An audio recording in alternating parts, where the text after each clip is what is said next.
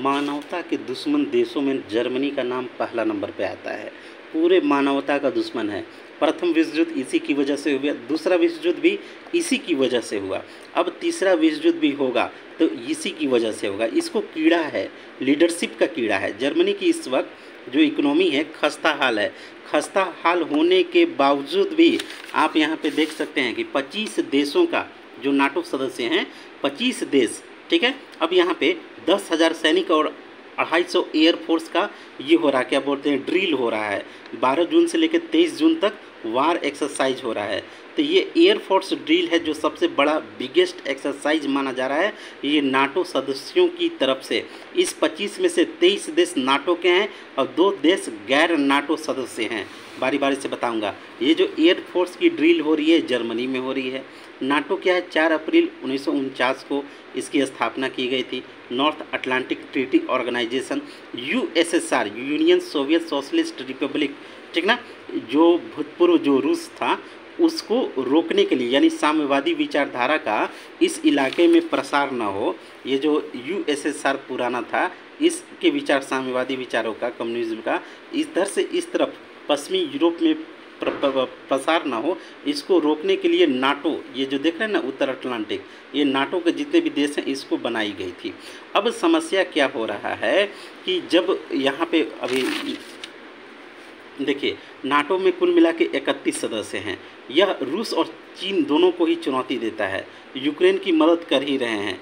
Japan और Sweden, जो गैर नाटो सदस्य देश हैं, उस भी, वो भी एयरफोर्स ड्रिल में यहाँ पे हिस्सा ले रहे हैं। जर्मनी की, जो इकोनॉमी है, बहुत ही खस्ता हाल है। हमले की, लेकिन प्लानिंग में पूरी तरह से आगे है। प्रथम, सेकंड, अब यहाँ तीसरा तीसरा जो विश्व युद्ध होगा, उसमें भी जर्मनी का बहुत बड़ा इसका हाथ होगा। इसको लीडरशिप का बहुत बड़ा कीड़ा है।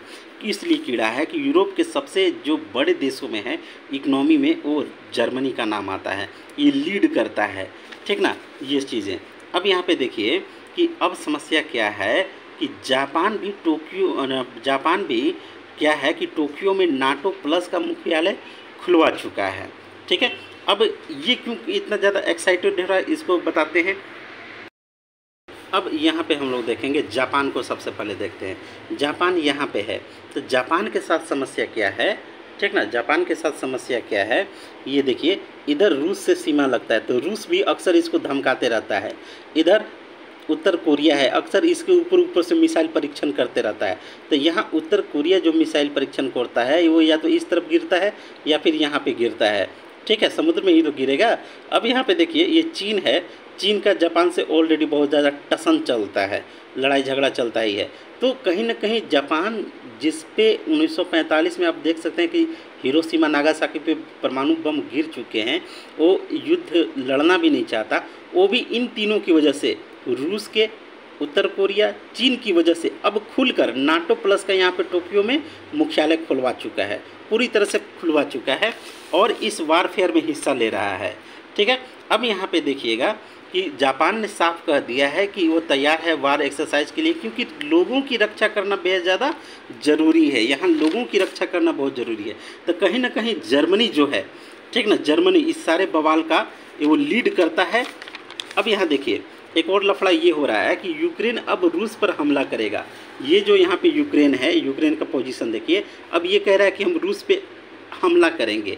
क्यों? क्योंकि अभी तक counter offensive action against Russia अभी तक डिफेंसिव यानी बचाव कर रहे थे। अब क्या है ऑफेंसिव यानी कि जिन इलाकों में रशियन का कब्जा है, वहाँ घुस कर ये फिर से कब्जा करने की कोशिश करेंगे। यूक्रेन यहाँ है मास्को यहाँ है। तो मास्को पे ड्रोन हमले लगातार जारी हैं।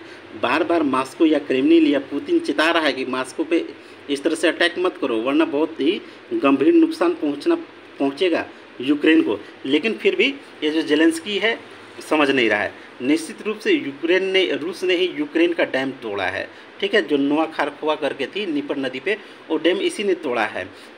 यूक्रेन की फोर्स रूस के अंदर ना आ पाए आम जन इससे प्रभावित हो रहे हैं। थोड़ा इसको सभी समझेंगे।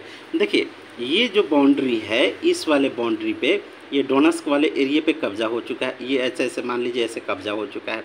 अब यहाँ पे जो नीपर नदी पे डैम थी, रसिया ने उसे तोड़ दिया। तो पूरा पानी पानी है। तो यूक्रेन की सोन सेना कहीं ना कहीं इस इलाके से उसके टैंक वैंक आर्मी पार करने में दिक्कत होगी। तो ये अब जो चाह रहा है, ये आपको ऑफेंसिव एक्शन का तो ये रूस में अभी घुस नहीं पाएँगे। इसलिए इस रूस ने इस डैम को उड़वा दिया है। जो भी हो, वैश्विक जियो में जो होने वाला है, जो हो रहा है अच्छा नहीं हो रहा है। इससे सभ्यता को बहुत ज़्यादा खतरा है।